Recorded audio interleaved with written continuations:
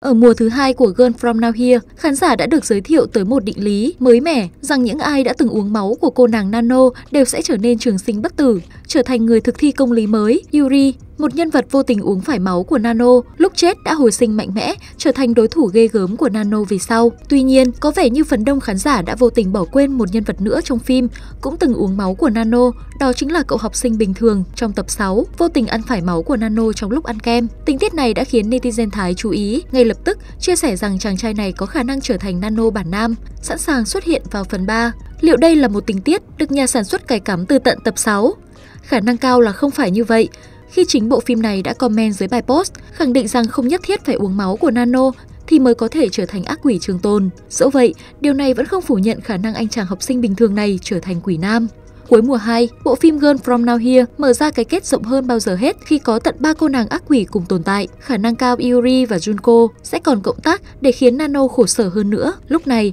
phải chăng Nano cũng nên dùng đến sự trợ giúp của một cộng sự nam? Như đã nói ở trước đó, ngoài sự trở lại của cô gái quỷ Nano, thì phần 2 của tác phẩm còn chào đón sự tham gia của nhân vật Yuri do Chanya, MC Glory đóng, một phụ nữ được đánh giá là đối thủ xứng tầm với Nano. Vẫn là những mặt trái của môi trường học đường, Nano không chỉ dẫn dắt người xem đi từ câu chuyện chuyện này đến câu chuyện khác. Trong tập 4 của cô gái đến từ hư vô 2, Nano đã có dịp làm quen với Yuri và một nhóm bạn nữ giàu có. Nếu như hai cô bạn còn lại được sống trong nhung lụa, sung túc, luôn dùng tiền để sai khiến người khác làm theo ý mình, thì Yuri lại xuất thân từ con nhà nghèo, sẵn sàng nghe theo lệnh của bạn mình để kiếm tiền trang trải cuộc sống. Tưởng rằng cô gái quỷ sẽ thành công chiêu mộ Yuri về phe mình, nhưng tiếc rằng chính lòng tham, sự thù hận nên Yuri đã phản bội tất cả, khiến ba người bạn của mình phải đổ máu và trả giá. Ngay sau đó, chính bản thân cô cũng phải chịu chết dưới tay bọn côn đồ vì phút lơ là của mình. Và nào ngờ, máu của Nano đã thâm nhập vào cơ thể của Yuri giúp cô hồi sinh. Từ đây, Girl From Now Here 2 có đến hai cô gái bất tử và chuyên vạch mặt những con người sống trái lương tâm. Bên cạnh đó,